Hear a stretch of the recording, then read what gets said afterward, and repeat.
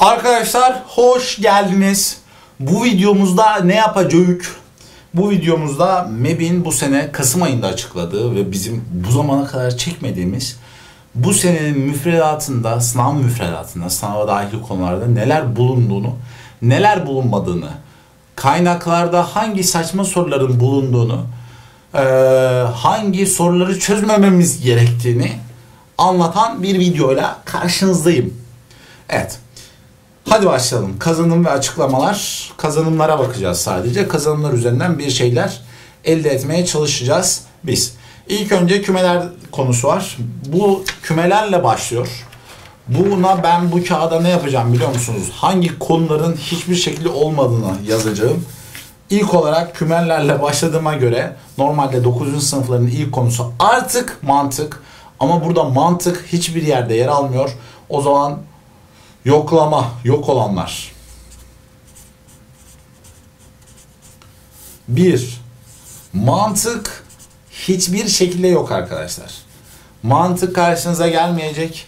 Mantık görürseniz kaçın. ÖSYM sorarsa iptal eder. O kadar net konuşuyorum. O yüzden mantık sorusu çözmenize, mantık konusunun çalışmanıza gerek yok. Burada benim söyleyeceğim bir iki şey var. Hemen hızlı hızlı bakıyorum ben buraya. İşte mesela burada sonlu küme, sonsuz küme kavramlarından bahsetmiş. Bunlar çok bilinmez. Buraları bir araştırmakta fayda var. Bu bir. İkincisi şu gösterimler bizim için nispeten yeni. Şu gösterimler. Bunların bir tanesi kapsar, bir tanesi alt küme, bir tanesi öz alt küme, bir tanesi öz alt küme kaps, öz alt kapsar. Ne demekse o. Bunların ne demek olduğunu söyleyeceğim. Bu ne demek? A alt kümesidir B'nin demek arkadaşlar. Tam tersinden yaparsak A B'yi kapsar demek. Hemen onların ne demek olduğunu söyleyeyim geçelim. Çünkü yeni bir gösterim. A B'nin alt kümesi ise A B'den küçük öyle de düşünebilirsin. A küçüktür B gibi bir ifade bu. Ama böyle bir şey görüyorsan altında eşitlik yoksa buradaki gibi yani şöyle bir şey değilse bak burada eşitlik var. Şu B ile A arasında en azından bir tane eleman vardır. B'nin A'dan farklı en azından bir tane elemanı vardır. Yani A B'nin öz alt kümesidir. Artık öz alt küme kalktığı için bunları da çok söyleyemiyorum, ama yani B'nin A'dan farklı bir tane elemanı vardır. A B'ye eşit olamaz. Burada A B'ye eşit olabilir. Bunlar iki farklı gösterimdir dedim. Devam ettim. Ne yok? Denk küme yok. Yani sayıları birbirine eşitse eleman sayıları denk küme diyorduk. O yok artık müfredatta. Direkt geçebilirim. İşte birleşim var, kesişim var, kartezyen var. İşlemleri kullanıyorum. Problem çözüyorum kümelerle falan filan. Önemsiz. Denklem ve eşitsizlikler. Denklem ve eşitsizlikler konusunda işte temel kavramlar dediğimiz sayılarla başlıyoruz. İşte doğal sayılar, tam sayılar, rasyonel sayılar, gerçek sayılar diyoruz. Burada hepsinin gösterimi var. Ondan sonra e, bunları net biçimde söyledikten sonra kök ispatla mı ispatla çok önemli değil. İrrasyonel sayılar ve gerçek sayılar kümesini açıklıyoruz. Burada bir hatırlatma yapalım. Çok önemli mi bilmiyorum ama Q dediğimiz şey rasyonel sayı. Q'nun üzerine şöyle bir şey koyarsam irrasyonel sayı oluyor. Bu ne ile karıştırılıyor? Reel sayılarla karıştırılıyor. R ile gösteriliyor. Rasyonel sayılar R ile gösterilmez. Bu birinci söyleyeceğim şey. İkinci söyleyeceğim şey de normalde bu arada yani işte sayılardan e, denklemlere geçerken, mutlak değerlere falan geçerken bir konu var. Yok olanlara geldim. O konunun adı da şu. EBOB, EKOK, bölünebilme kuralları. Bunlar arkadaşlar bu senin müfredatında yok. Bunlarla alakalı soru gelemez. Denemelerde karşılaşıyorsunuz, kaynaklarda karşılaşıyorsunuz, çözmeyin. Fakat bir farkla, bir farkla. EBO ve KOK'a bağlı bir problem çeşidi var. Tekrar eden durum problemleri. Mod soruları aslında. Bunlar mod kalktı. EBO ve KOK bu sene yok. Normalde kalkmadı. İşleniyor ama işte şu anda 12. sınıf olanlar EBO ve KOK lisede hiç görmedi. Onlara gösterilmedi ama tekrar eden durum problemleri çıkabilir. Çünkü biraz mantıkla çıkartabileceğimiz şeyler bunlar. ÖSYM problem sorarken zekanı kullanarak çözebiliyorsan soruyor. O yüzden konuya önemsemiyor. Orada dedim, devam ettim. İşte denklem nedir? Açık kapalı aralık nedir? Eşitsizlik nedir gibi kavramlar var. Geçtim. Sonra kısa bunlar dikkatini çekiyorsa küçük konular. İşte mutlak değerin özellikleri falan filanı var bu aralarda. Mutlak değerle ilgili yine bilinmeyen bir şeyi şuradan çekip alacağım. Hemen burada yazan bir şey var. Üçgen eşitsizliği. Üçgen eşitsizliği şu demek. x artı y'nin mutlak değeri küçüktür eşittir. x'in mutlak değeri artı y'nin mutlak değerine üçgen eşitsizliği diyoruz biz. Bu müfredatta var. Bunu bilmeniz güzel olur. Ünlem, ünlem, ünlem. Devam ediyor. İşte analitik düzende yorumlanır kısmı da önemli. Onları da çok işlemiyoruz genellikle. İşte iki bilinmeyenli denklem eşitsizlik sistemlerinin çözümü analitik düzende yorumladı. Yani çizilir. Yani y küçüktür 2x artı 1'in nasıl çizildiğini, nasıl koordinat düzeninde gösterildiğini bileceksin. Devam. Sonra üstlü ifade. Eskiden t yoktu o arada artık t'yi de koymuş ve üstlü ifade, köklü ifade ve rasyonel kuvvet meselesi var. Ve bunlarla alakalı denklemler var. Yine burada bir yoktur var. Adam bana diyor ki köklü ifadelerde sonsuza giden iç içe köklerle yapılan işlemlere yer verilmez. Hani şöyle bir şey görüyorsan işte 2 çarpı 2 çarpı nokta nokta bu sorular yalandır diyeceksin. Hayatına devam edeceksin. Ben şurada kopyalarım var. O kopyalar önümde kalsın. O kopyalarla hayatıma devam edeceğim. Dedim. Geldim buraya. Oran orantı ve problemler meselesi. Artık sınavımızın 12-14 soru arası buradan geliyor. Burayı çok fazla anlamaya gerek yok. Gerçekçi hayat problemleri filan falan bir şeyler diyor ama burada altını çizmem gereken yerler var. Burada işte değişim, oran, orantı, değişim, değişim oranı, ortalama, ağırlıklı ortalama kavramlarının kullanıldığı problemler üzerinde durulur diyor. Ağırlıklı ortalama bilinmedik bir konu. Bilmiyorsanız gidin, araştırın, öğrenin. Böyle bir şey müfredatta var. Bu bir. İkincisi her sene bu değişim oranı ile alakalı sorular gelir. Bunun da ne olduğunu özellikle değişim oranı ile alakalı doğrusal ilişki kavramını öğrenmenizi tavsiye ediyorum. Çünkü doğrusal ilişki her sene bir tane geliyor. İşte bir content var, kontekst var, bağlam ve içerik. E, bunlar birbirlerine karıştırılan kavramlar problemlerde. Ee, bağlamı ile içeriğini birbiriyle karıştırıyoruz. Mesela içerik dediğimiz gerçek hayatta neresine gerçek hayat? Mesela kar, zarar, alışveriş, işte ondan sonra hız problemleri bunları bu başlıklar içeriktir. Bağlam dediğimiz şey de bunları ne ile çözüyorum işte yüzdeyi ile çözüyorum, formülle çözüyorum, oran orantı ile çözüyorum. Ondan sonra doğrusal ilişkiyle çözüyorum falan. Bunları birbirinden ayırt edebildiğimiz müddetçe de iyi bir problem çözücüsü olacağımızı düşünüyorum. Devam ediyorum. Geldim fonksiyonlara. Fonksiyonlarda e, hemen hemen hiçbir şey değişmedi. Sadece Yalnızca gerçek sayılar ta, üzerinde tanımlamış fonksiyonlar var. Mesela şöyle bir soru görürseniz fx eşittir 2x artı 5 f i nedir filan görürseniz bundan kaçın. Böyle bir soru sadece müfredat dışı olur. Başka da şu anda bir şey var mı? Yok fonksiyonlarla alakalı. Bakıyorum arkada kopyalarıma. Şu an bakıyorum bakıyorum hiçbir şey yok. Şimdi ee, bakıyorum. Gerçekten burada hiçbir şey yok. Sadece şu kısmı bayağı bir önem kazandı. Grafiklerle artık fonksiyonları çok ilişkilendiriyorlar. Eski sorulara bakın neredeyse çok az grafik sorusu var. Bu sene, geçen sene e, grafik soruları da çok geldi. Grafikler arası kıyaslamalar, fonksiyonlar arası kıyaslamalar çok geldi. Fonksiyonun eksenleri kesim noktalar çok geldi. O yüzden böyle şeyleri bilmek lazım. İlk önce e, şu önemli. X eksenindeki kestiği noktalar fx eşittir 0 denkleminin gerçel sayılardaki çözüm kümesidir. Bunu bileceksin dedim. Geçtim. Ondan sonra neyi bileceksin? Doğrusal ilişki burada da karşımıza çıkıyor. Doğruların grafiklerini ve gerçek hayat uygulamalarını bileceksin. Devam edelim parçalı tanımlı fonksiyonların grafikleri çizilir. Bileceksin parçalı tanımlı fonksiyonlar karşımıza çok fazla yerde çıkıyorlar. Özellikle işte fonksiyon, limit, türev, integral. Bu dört konuda parçalı tanımlı fonksiyonlarla alakalı çok fazla soru görüyoruz. Geçen sene işte süreklilik sorusu gördük. Ee, ondan önceki sene limit sorusu gördük gibi. Burada bir şeye dikkat çekmek istiyorum. Mutlak değer fonksiyonu eskiden bir ana başlık olarak anlatılıyordu. Artık burada diyor ki mutlak değer fonksiyonunda bir parçalı tanımlı fonksiyon örneği olarak verilir. Altına sokuşturmuşlar mutlak değeri. Yani mutlak değeri mutlak değer fonksiyonunu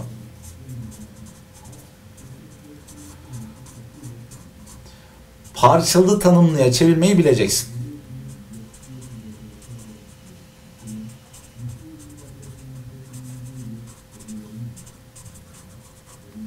Bunu bileceksin dedim. Hayatıma devam ettim.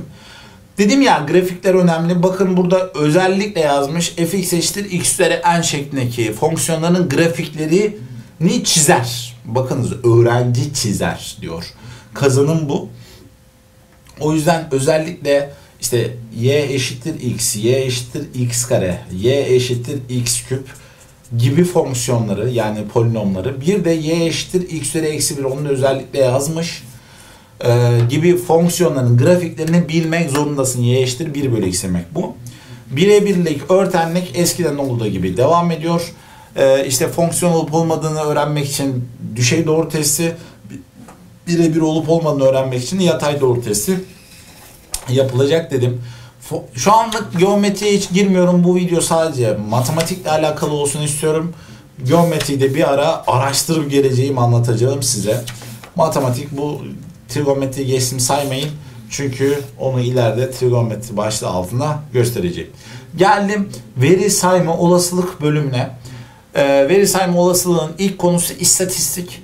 İstatistikte normalde öğrenciler kaçıyor istatistik konusundan. Öğrenmemize gerek yok çünkü ÖSYM bütün sorularda yukarıda istatistikte sorduğu kavramları işte modu soracaksan modu, medyanı soracaksan medyanı yukarıda anlatıyor. Fakat siz zaman önemli olan bir sınava giriyorsunuz. Yani zaman sizin için kısıtlı. O yüzden istatistik konusunu bilmeniz sizin için faydalıdır. Bu kavramların ne olduğunu bilin. Aritmetik ortalama, ortanca yani medyan bunun diğer adı. Tepe değeri yani mod diğer adı. Açıklık yani en büyük en küçük değer arasındaki fark. Bir de standart sapma. Bunun müfredatta olmadığını söyleyenler var. Onlara inanmayın. Standart sapmayı bileceksin. Ama bunlar gerçekten basit soruluyor arkadaşlar. Ee, öncelikle şöyle şunu söyleyeyim. Merkezi eğilim yayılma ölçülerinin ne demek olduğunu ve yorumlamasını bileceksin. İşte standart sapmayı yorumlayabileceksin. Aritmetik ortalamayı medyanı yorumlayabileceksin. Sonrasında da şunu söyleyeyim. Alt çeyrek, üst çeyrek, çeyrekler açıklığı diye bir soru görüyorsan dümdüz kaç. Onlara yer verilmiyor. Umurumuzda bile olmuyor dedim. Standart sapmayı hesaplarken de o öyle sorular çok gördüğüm için söylüyorum. Veri sayısı 5'ten fazla olan veri grubunun standart sapmasını hesaplatamaz. Hiç kimse size onlardan da kaçın. Verilerin grafikle gösterilmesinde serpme ve kutu grafikleri artık bizim için yok. Serpme grafik nedir? Kutu grafik nedir? Elimdeydi az önce buradaki kağıtlar. Artık elimde değil. Şuradan bir tane alalım. Serpme ve kutu grafiği ne olduğunu söyleyelim. Serpme grafik şöyle. İşte buraya yaşları yazıyorum. Buraya boyları yazıyorum. Ondan sonra her insan için buralara noktalar koyuyorum. Bunlara serpme grafik diyoruz.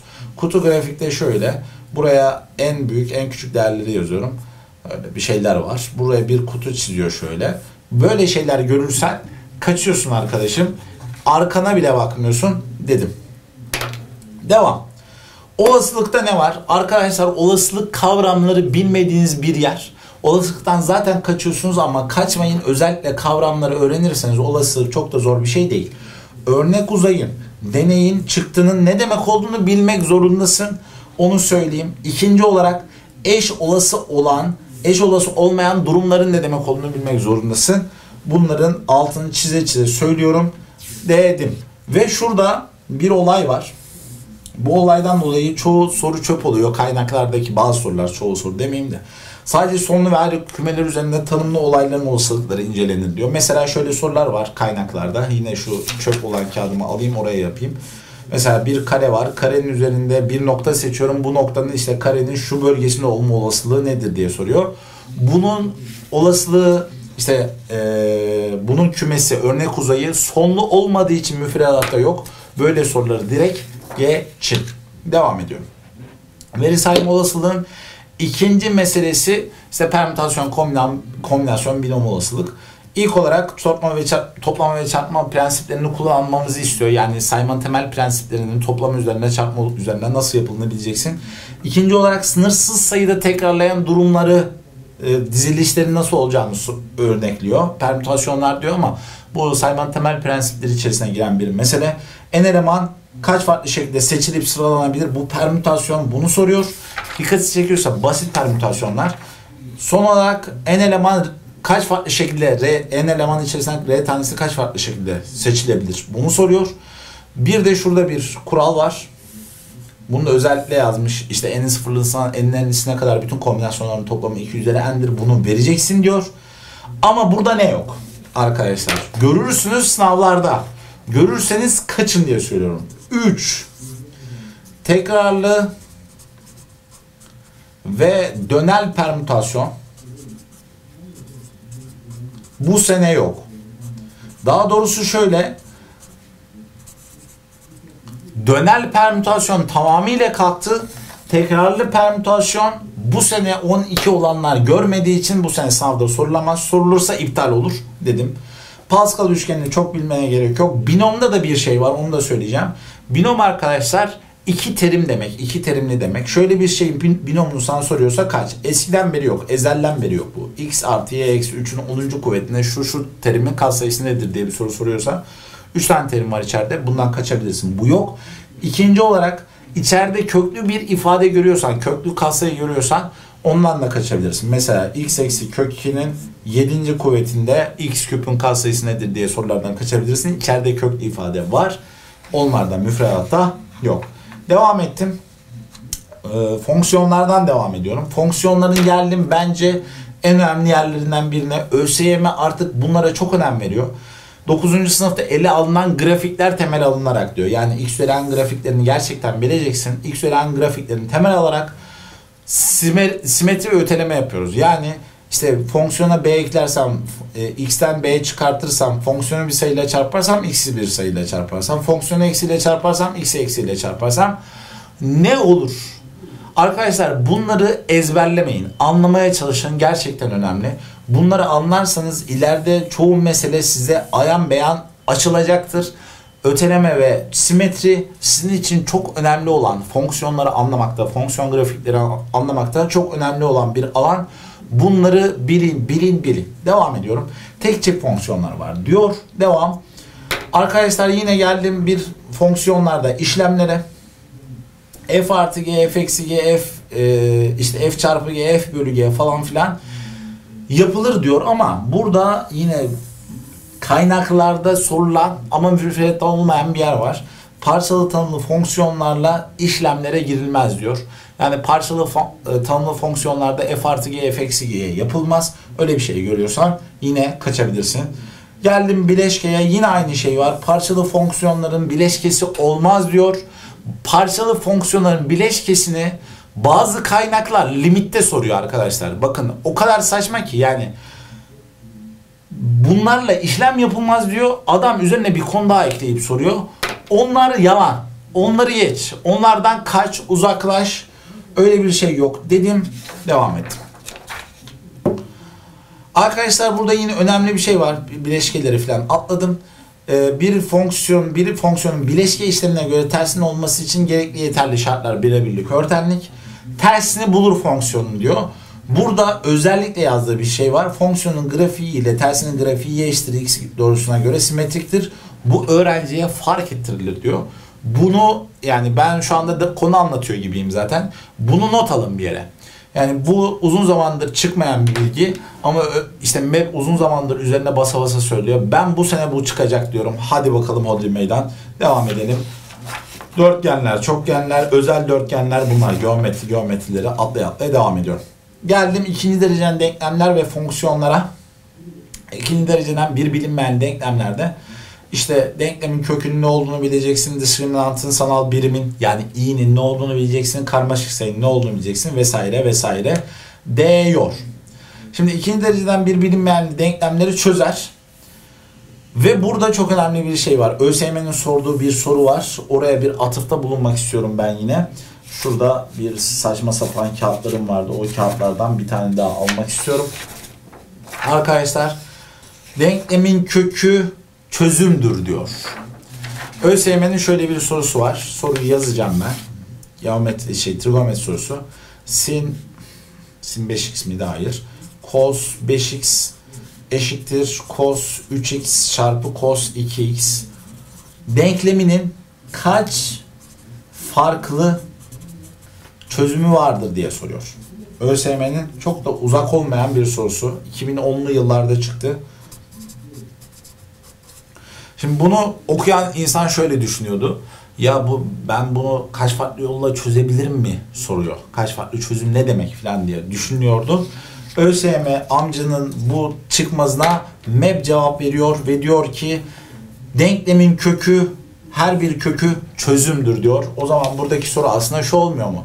Kaç farklı kökü vardır? Çok da basit soru oluyor. Dedim geçtim. Hop buradayım. Bir de baktım buradayım. Diskriminantın işareti i eşittir kök eksi 1. Ben buna karşıyım ama hadi devam edelim.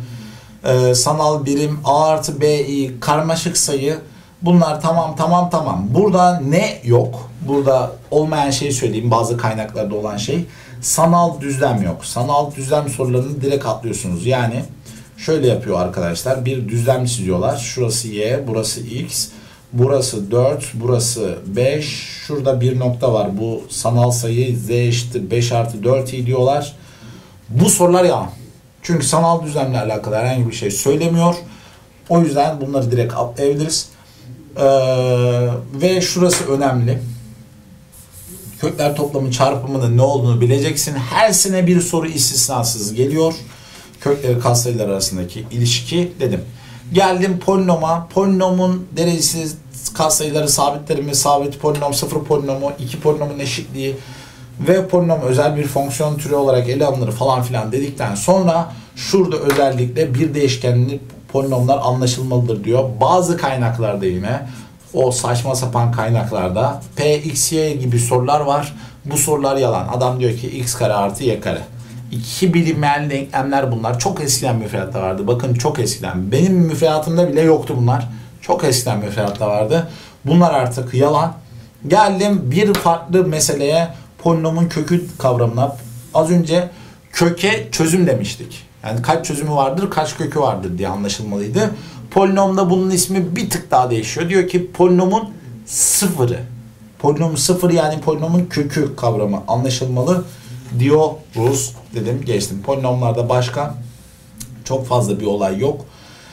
Polinomlarda çarpanlara ayırmada değişen hiçbir şey yok. İşte tam kare iki kare farkı, iki küp farkı, iki küp toplamı, küplerin toplamı, pardon toplamı küpü falan filan değişken değiştirme hep aynı. Burada bilinmeyen bir mesele var. Rasyonel ifade. Rasyonel ifade ne demek? Bir polinomun başka bir polinoma bölünmesiyle elde edilen ifadelere rasyonel ifade diyoruz. Bunu sözel olarak bile sorabilirler. Bilmenizde fayda var. O zaman geometri kısımlarını geçtim. Şu kısmı atladım. Trigonometri, geometri saymayacağım. Ben anlatıyorum, ben anlatacağım. İşte açı nedir, yönlü açı nedir, açı ölçü birimleri nedir, derece var, radyan var. Eskiden grad da vardı. Grad görürseniz bazı kaynaklarda ben görmüyorum ama görürseniz kaçın açının esas ölçüsü nedir falan filandan sonra trigonometrik fonksiyonlara geçiyor. Birim çember yöntemiyle sinüsü, kosinüsü, tanjantı, kotanjantı açıklıyor. Ondan sonra işte bu açıların e, trigonometrik oranların işaretleri sıralaması, trigonometrik oranların birinci bölgeye getirilmesi gibi konular var. Sonra kosinüs teoremi, sinüs teoremi var. Ama sinüs teoreminde bir şey var. Sinüs teoreminde çevrel çemberle ilişkilendirmiyoruz artık. Yani A bölü sin A bir açının karşısındaki açı, bir kenarının karşısındaki açının sinüsün oranı başka bir kenarın karşısındaki açının sinüsün oranına eşittir. O da diğer kenarın karşısındaki açının sinüsün oranına eşittir. Normalde burada 2R diye bir şey vardı. İşte çevrel çemberin çapına eşitti bu oranlar. Artık bu kısım yok. Öyle bir şey görürseniz. Kaçın dedim. Devam ettim. İşte periyodik fonksiyon anlatılıyor trigonometride. Periyodik fonksiyonda da önemli bir yer var. Eskiden periyodik fonksiyon anlatılıyordu. Sonra sinüsün, kosinüsün periyodik fonksiyon olduğu söyleniyordu. Ondan sonra sinüsün, kosinüsün işte e, periyotlarını buldurmaya çalışıyorlardı. Periyotlarda üst diye bir kavram vardı. Yani sinüs üzeri 5 4x artı 3'ün periyodu nedir falan diye. Kaynaklarda böyle soru görürsünüz. Bu sorular yalan oldu. Neden? Artık üslüler verilmiyor arkadaşlar. Sizin grafiğini çizebileceğiniz şeyler veriliyor. Yani a çarpı sin bx artı c artı k. Burada a, b, c ve k kas sayıları bu fonksiyona ne yapıyor? Bunu da bilmen lazım. İşte kaydırıyor mu, öteliyor mu, e, dikleştiriyor mu, yayıyor mu bunları bilmen lazım. Bir de tek çift fonksiyon olduğunu bilmen lazım.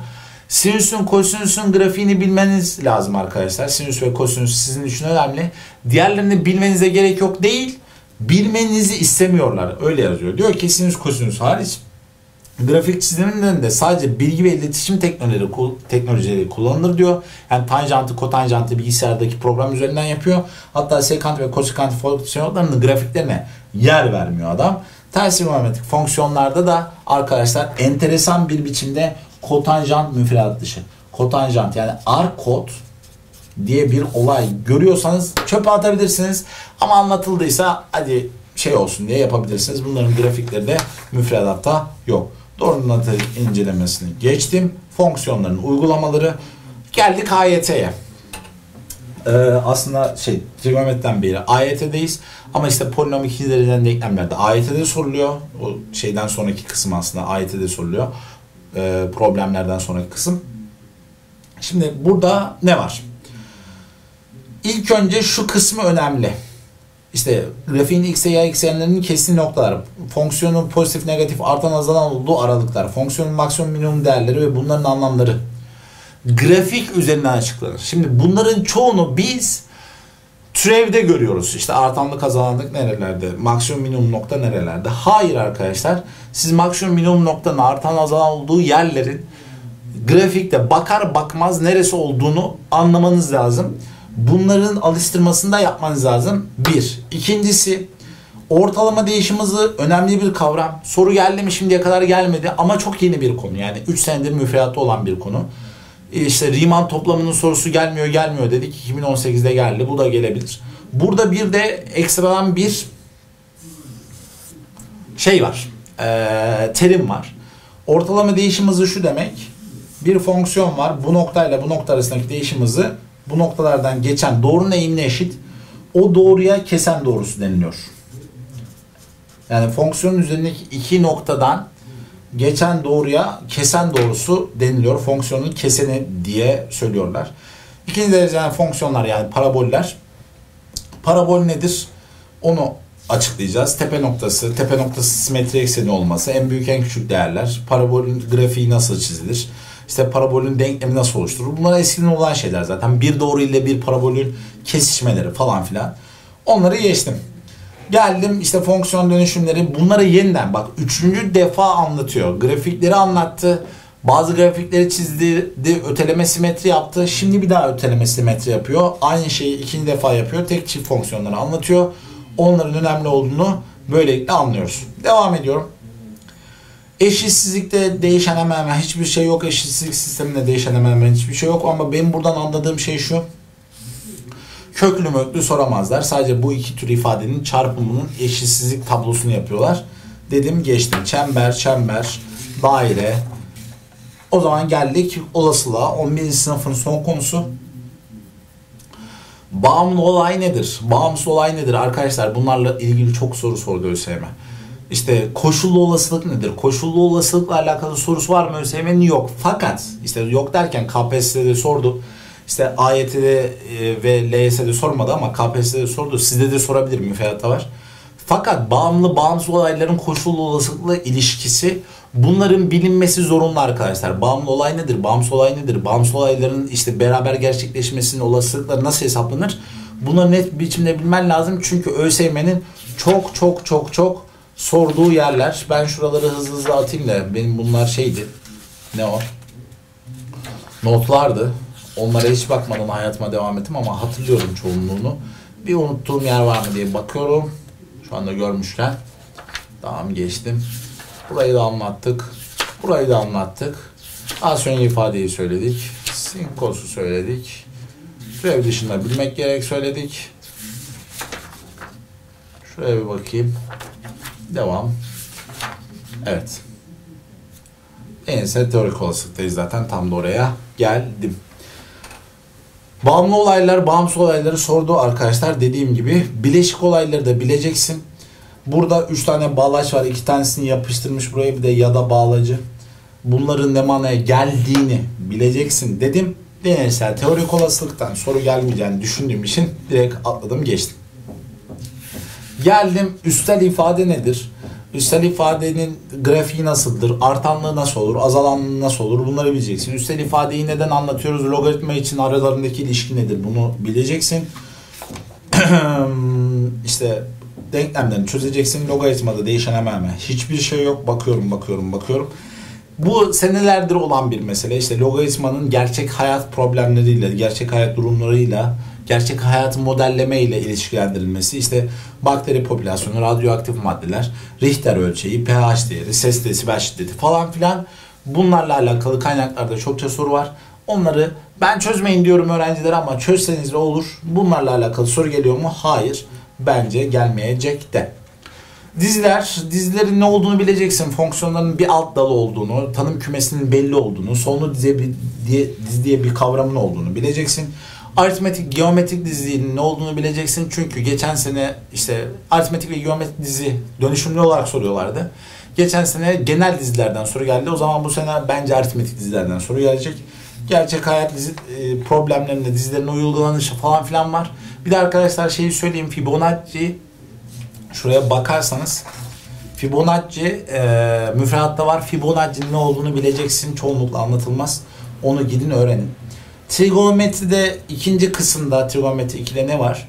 İşte iki açının toplamlarının farklarının sinüsü, kosinüsü, tanjantı bunları bileceksin. E, iki kat açı formülleri eski ismiyle yarım açı formüllerini bileceksin. Yani iki kat açı formülü görünce şaşırmayın. Bu yarım açı formülü demek. Bunları bileceksin ve bazı kaynaklarda hala gördüğüm saçma sapan biçimde gördüğüm dönüşüm, ters dönüşüm formülleri müfredattan kesin kes kaldıktı. Bunları bilmeyeceksin, unutacaksın bunları dedim. Burada trigonometrik denklemlerin çözüm kümesini bulur diyor. Ama tek tek bunlara değinmiyor. Çok da önemli olmadığını bize fark ettiriyor. Ama burada önemli bir şey söylüyor. Lineer denklemler. Gidin araştırın, öğrenin.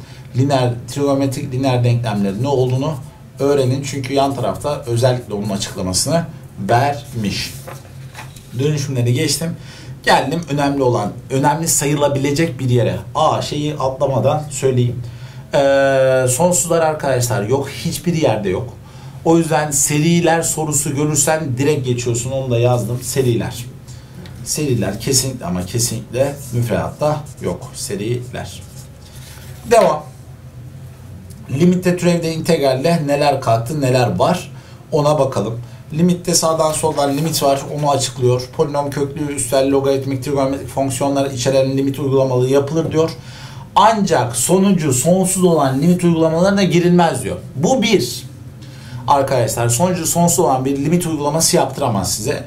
İkinci olarak ya hocam o zaman sonsuz bölü sonsuz belirsizliği olur ama sonucu sonsuz çıkmaz diyorsanız burada adam vurucu bir cümle yapmış. Bundan dolayı bütün belirsizlik durumları çöpe gidiyor.